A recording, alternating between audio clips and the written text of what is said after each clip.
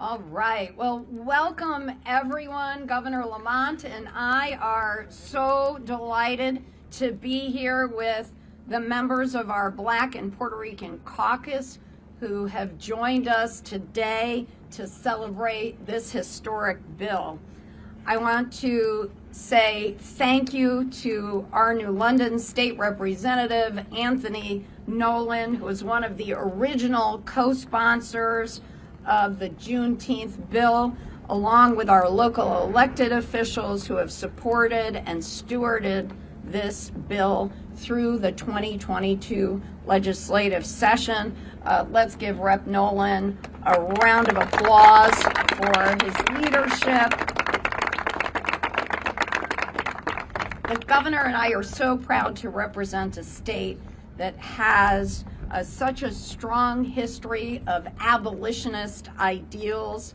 Uh, we were on the right side of history, and history is right behind us.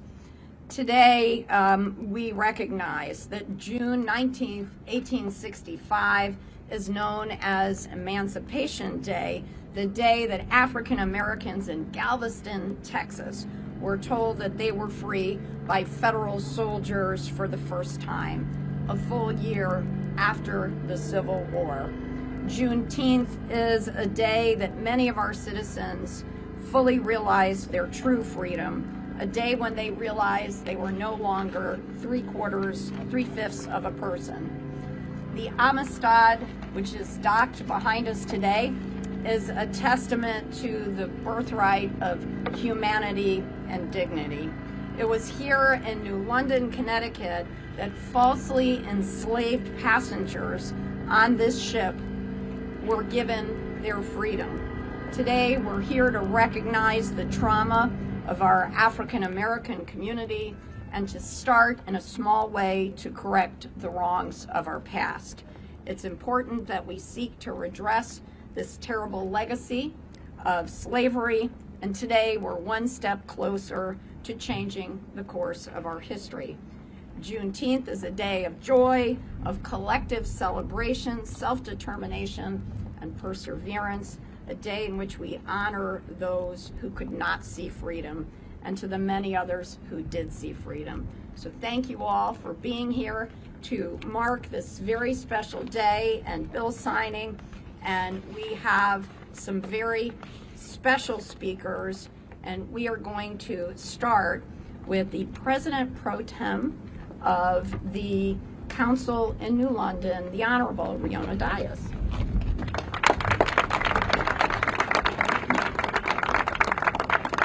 So, good morning. Um, I just like to welcome, first of all, Lieutenant Governor, the Governor, um, state representatives, um, all distinguished guests, um, counselors, just here to the city of New London.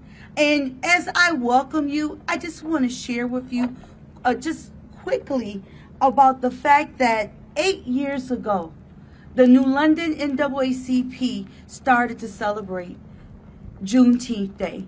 And this was done, and excuse me if I'm a little nervous, this was done, thank you. Um, the first year was done in honor of Juneteenth with the New London NAACP, with Connecticut Landmarks, and L&M Hospital. We so after the first year, the second year, they added OIC, and last year, Harsh. So as we look to uh, to celebrate, this will be taking place starting tonight at 5:30 at OIC. So everybody is welcome. We will continue um, to celebrate or to acknowledge Juneteenth Day and honor it tomorrow from 11 to 4 p.m. and all is welcome. So I just wanted to make sure that everyone understand um, that we celebrate at OIC because that is the historical black district in our neighborhood. See, that neighborhood, the houses was built by free men. And it's important to know that. And it's important to come down. But I am so thankful that you guys came down today. And as the official um, welcomer today as President Pro Tem of the City Council of New London, I like to say all is welcome, and I hope you enjoyed the day. And thank you. Excellent. Excellent.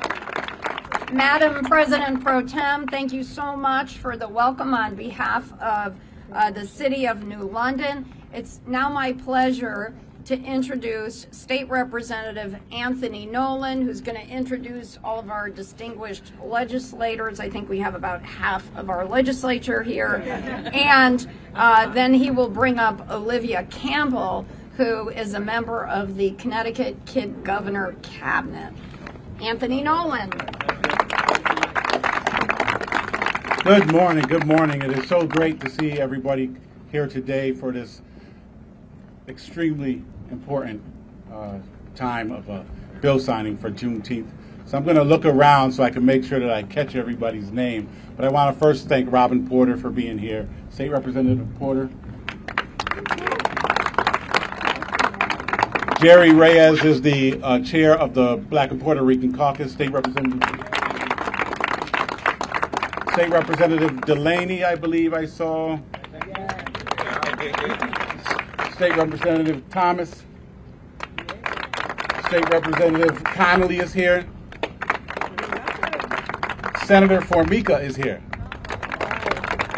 I see, uh, let's see, Senator Flexer, who was a partner in putting this bill forward in the uh, session this year. Thank you so much, uh, Senator Flexer. And uh, how you doing? Representative Ryan. Representative Ryan. I say the best for last, see?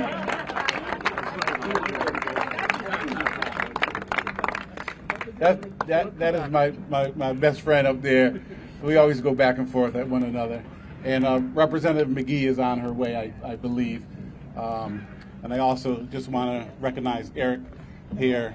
Uh, thank you, Eric, for coming. Uh, our, our other counselors, um, uh, James Burke and Counselor Peck, are here. Um, Andre Bumgarner from Groton IC is here. Danny Cruz is from the Board of Ed. Yes. Thank you, Danny, for being here. And I just want to make sure I didn't forget anybody. Because I don't want nobody talking about me. All right. I'd also like to thank the administration from New London for being here, Steve Fields, Tommy Majors, uh, Felix Reyes, Mr. Red for parking, and our chief of the fire department is here. Thank you so much for being here. So, as we know, the importance of this day, um, where the governor is going to sign the bill, uh, was something that we fought hard for in the legislation this year.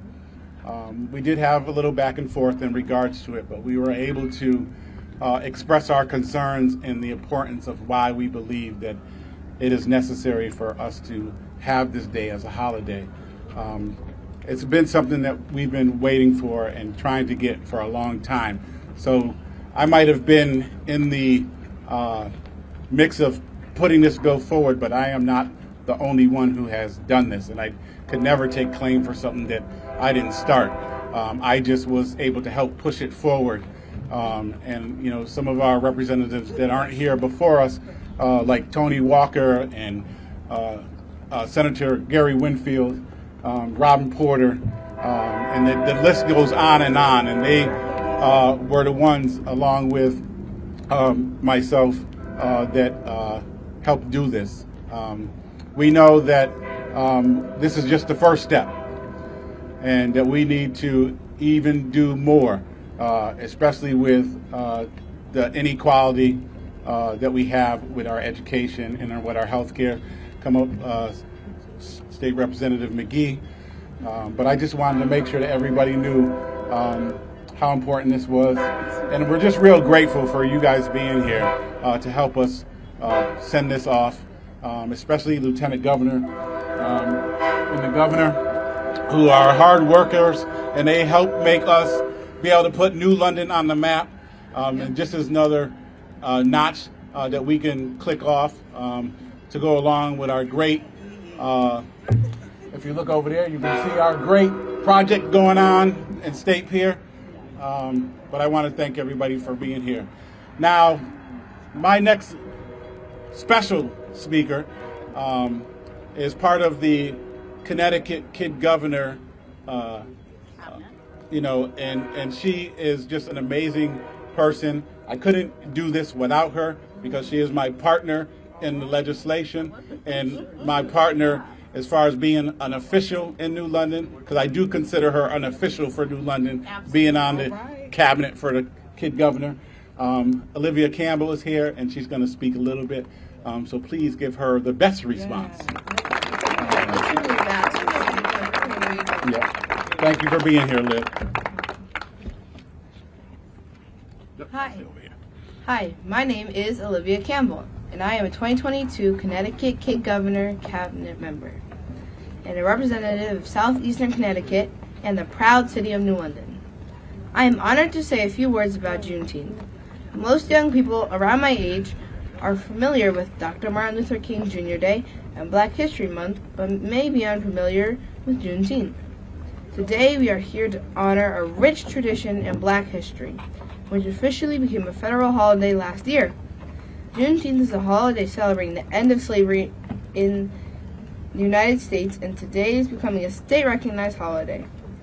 The Emancipation Proclamation was issued on January 1, 1863, by former President Abraham Lincoln.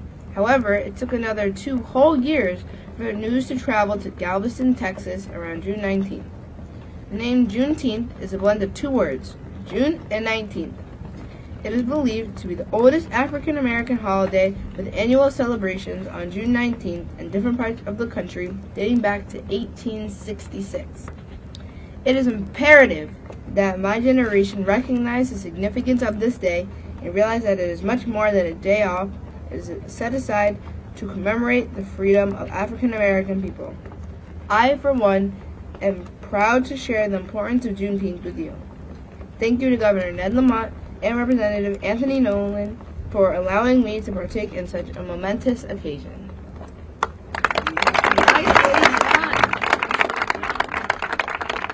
That's why I let her go after me.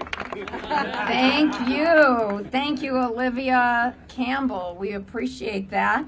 And now we're going to bring up Ms. Sarah Cheney, uh, who is a historian. Sarah, please come right up. Thank you.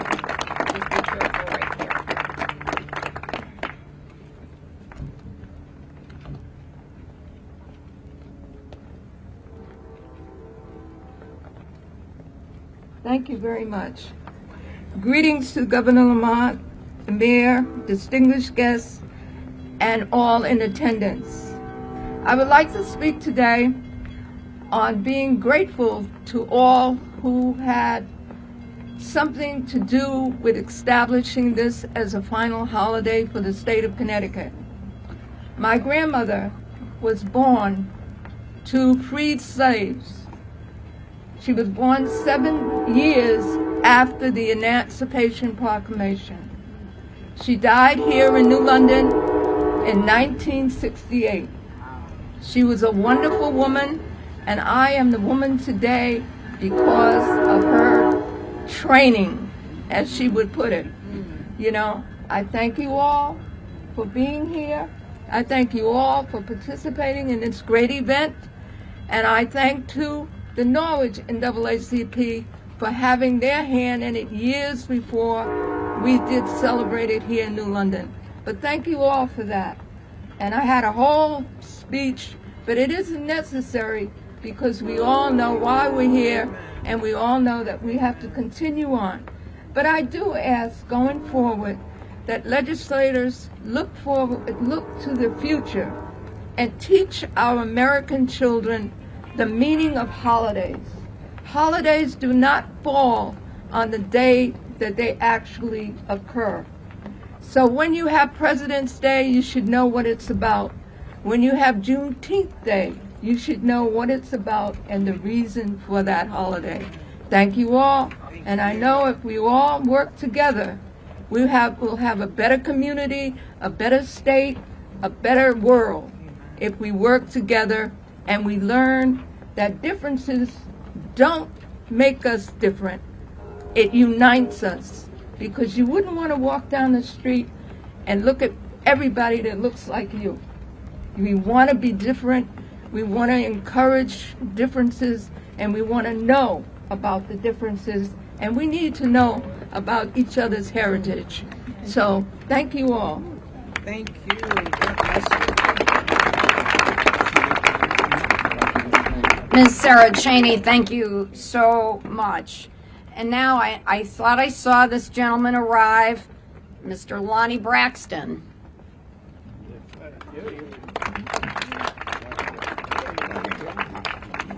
Nice seeing you. uh, good morning, and uh, it's on its way to afternoon. And I just had an experience with the growth of New London traffic. Um, I really want to thank everybody for the wonderful privilege and opportunity to address you on this most historic of days. First, we extend our heartfelt thanks and appreciation to all of those in our state legislature and government who voted yes for Public Act 22-128, May 27, 2022, thereby making Juneteenth Day a Connecticut state holiday. Let's have a round of applause also with a special thanks to Representative Anthony Nolan. Not only for his service, but for all the hard extra work in making this day possible. And a personal thanks from me for his most generous and humbling call asking me to say a few words here about the history of Juneteenth. And that humbling call, he uh, stopped me and said, Braxton, I want you to say a few words about the history. But you know the governor is speaking, and he's got a lot to do, so don't hold him up. You've seen those ads on TV. So I'm not going to hold the governor up. I have three minutes, so here goes. In the spring, right after the Civil War ended, our newly freed woman, Julie Tilroy, with only the clothes on her back and her two little children in tow, she walked over a hundred miles to Atlanta looking for her brother and his family. And after being there, uh, there was an organization she encountered, was known as the Freedmen's Bureau. And it was created by the government to assist newly freed people with securing housing, jobs, education, and locating lost family members. And you know, as I reflect back on this, I should make sure we understand it. It touches us still today.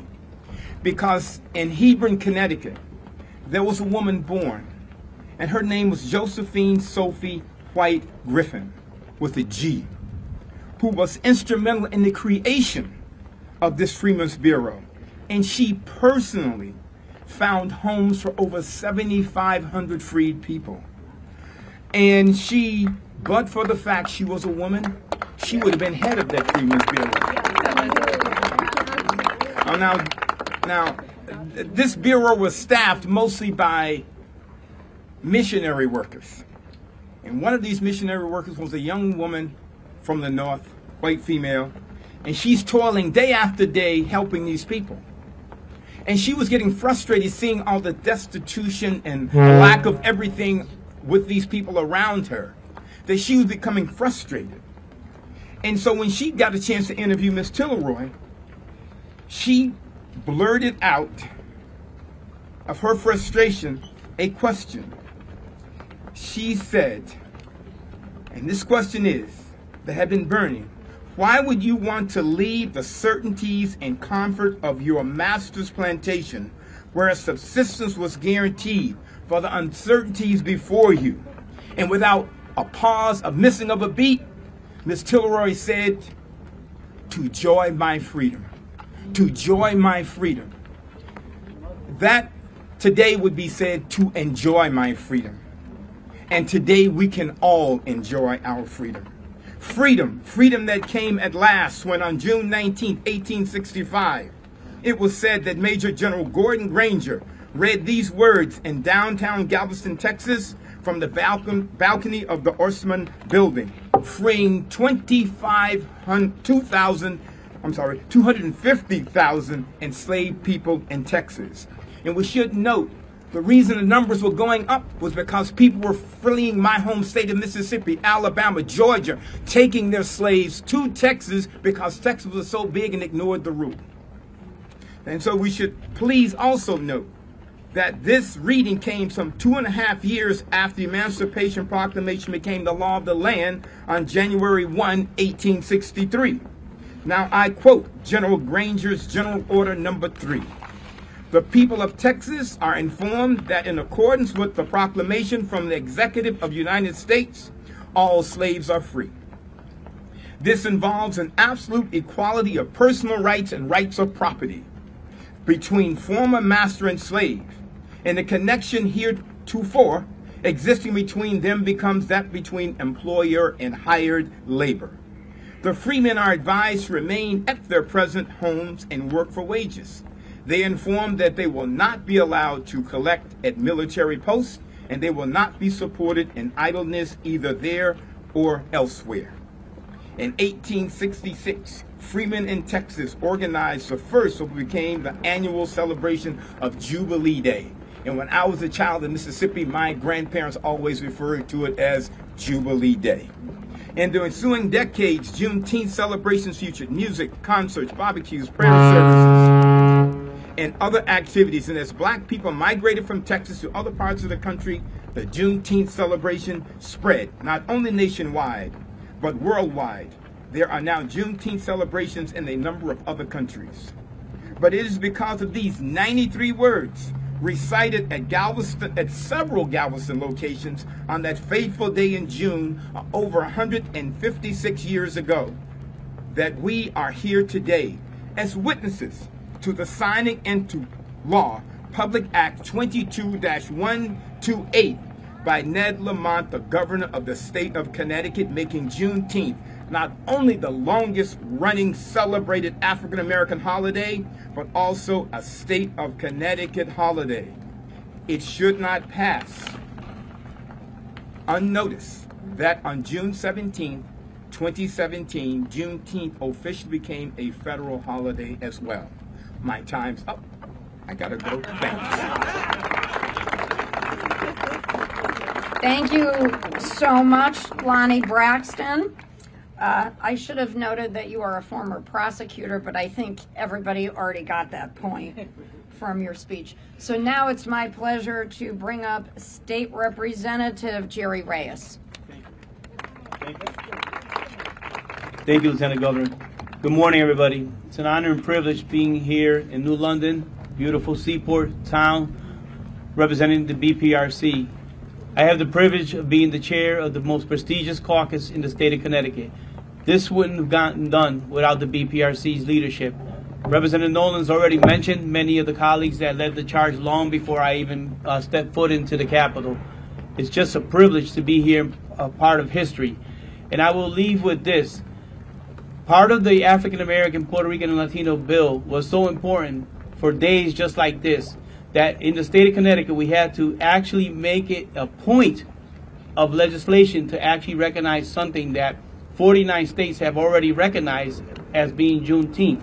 And I believe that this is the, the information and the type of, uh, of uh, ideology that we should be teaching kids from their little because everything isn't as it is in the history books that I had to learn from. And this is why I think the Juneteenth holiday is so important for the state of Connecticut, and I am just honored to be here in the presence of such great legislators and under the leadership of Governor Lamont and Susan Bysiewicz. So thank you very much on behalf of the BPRC and the Connecticut delegation.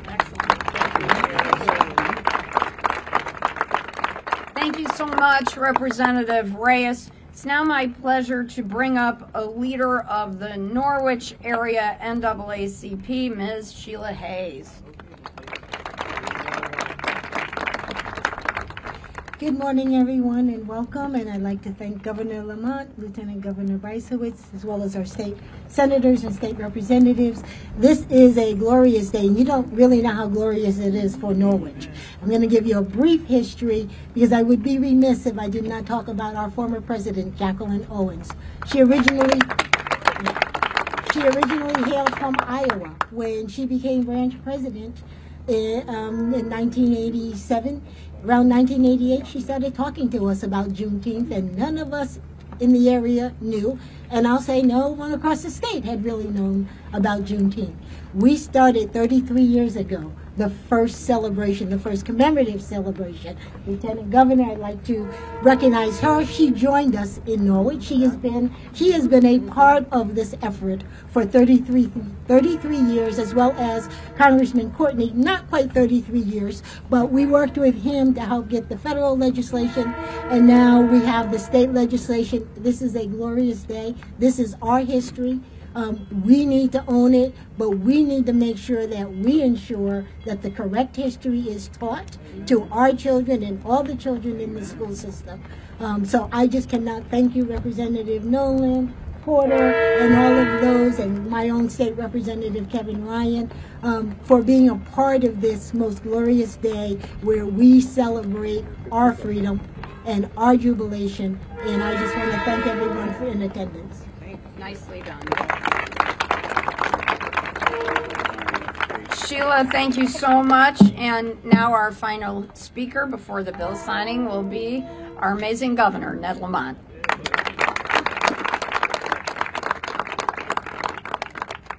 So, Anthony, I think Juneteenth is more than a holiday.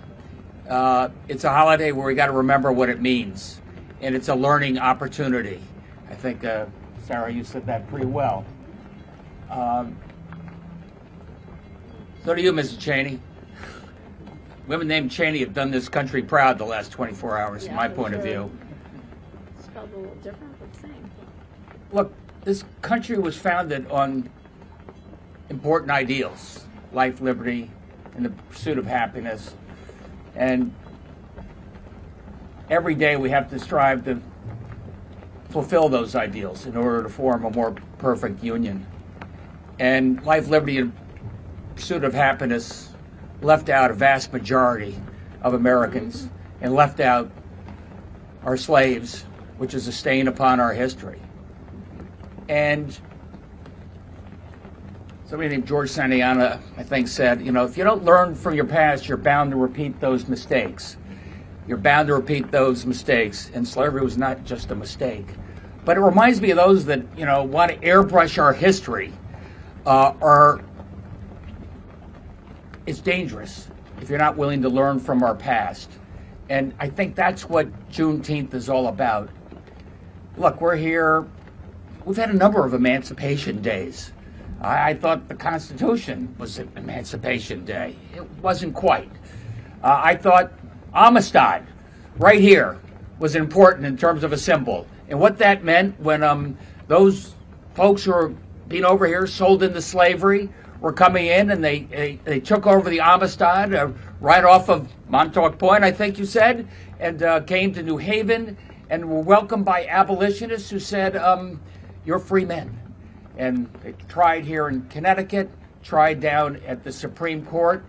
You know who uh, represented uh, the, the would be slaves from the Amistad? John Quincy Adams, whose uh, dad was there at the founding of the nation. It just reminds you it's a continuum as we struggle towards progress. One of the most important weeks in the history of our country, I believe, was that week in April um, 1865 that started with uh, Robert E. Lee's surrender at Appomattox. And in less than a week, uh, Abraham Lincoln, calling for reconciliation, was assassinated. And we thought maybe the end of the Civil War was um, our Emancipation Day. Well, Juneteenth reminds us that it's a continuing struggle, I think, Anthony. It reminds us that the war didn't stop. Obviously, it went on to Texas. The communication was pretty slow. They didn't know what was going on. And then finally, uh, they found the war was over. But that was not quite Emancipation Day either. Um, we had the Emancipation Proclamation. That only freed the slaves in the uh, in the rebel states. So then we had uh, the 14th Amendment, and slaves across the country were freed, and that was Emancipation Day. But it wasn't because then we had Jim Crow, and then we had the Civil Rights Movement, and every day is a struggle. And every day is a struggle for our country to form a more perfect union where everybody is welcome and everybody has the opportunity to live up to their highest ideals and dreams. I'd like to think that Connecticut has played a real role there. I'd like to think going from Amistad to uh, Martin Luther King when he was uh, working uh, in a field in, Simsbury and what that meant to him in terms of what a more welcoming uh, state and region and country could be. And so for me, I'm proud to celebrate Juneteenth as a holiday, and I'm more proud to make sure that we make sure it's a learning day. We remember that every day in this country we strive to form a more perfect union. Thank you all. Thank you so much, Governor. And please join me with a round of applause for the staff of the Amistad for bringing this beautiful ship here for this backdrop. We're so grateful to them. And now let's sign the bill, Gov.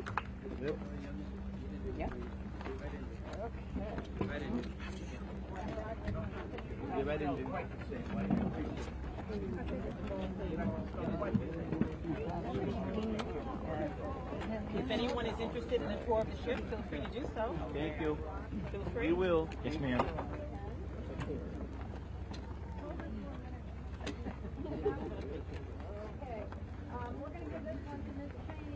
Jenny, don't go anywhere. We miss you. Okay. All right. All right.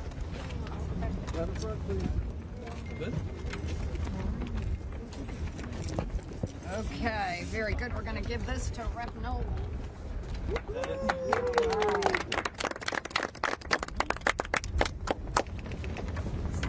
We're going to give this to Ms. Robin Porter. Thank you very much. Right. Oh, okay. Wait a minute, make sure we, yes, okay, are these all signed? You get an empty one? Then Olivia. No, you don't. Okay. Okay, Olivia, these rest are signed. Oh. So, uh, Olivia, you got one, uh, Ms. Sheila Hayes, uh, Mr. Lonnie Braxton. Um, okay. Uh, Jerry for Reyes. grabs, Jerry Reyes gets one. Um, yes, right behind Shanae. Okay, and Rep Barnes, Senator Flexer, you need one, and your assistant Rose will share with you. Okay, and Formica, we're gonna give that. Uh, Who else? Stephanie, State Representative. Stephanie Thomas, yes indeed. And what about? Ryan, Ryan, Rep Ryan, And then you have the Director of the Amistad. uh, one for the Director of the Amistad. Amen. Okay, Rep Connolly. Thank you. Anybody else? Churro. Who else? Who else would like one? Can I get one for the mayor? Oh, you may have one for the mayor. And Reona Dyess, where did she go? That's- this is right here. Okay, excellent. She's got that. Okay. The history of Amistad like nobody else. May I take one back for the Norwich? There you are. May I take one back for And you may take one for the Norwich delegation. Excellent. And we still have some. Anybody else? Okay, we take an extra one. Okay, I'm going to give one to Andre Baumgartner, and you may have one as well. And I think we have a city council. And Eric Russell. Eric Russell. Right. And, uh, yes. And yes, the pens are coming. The pens are coming, absolutely. These other ones were used to sign, so there you go. Okay, well, you. CHRO, you got one.